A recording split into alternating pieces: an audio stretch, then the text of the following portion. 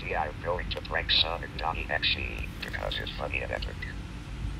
Kadee X got your now.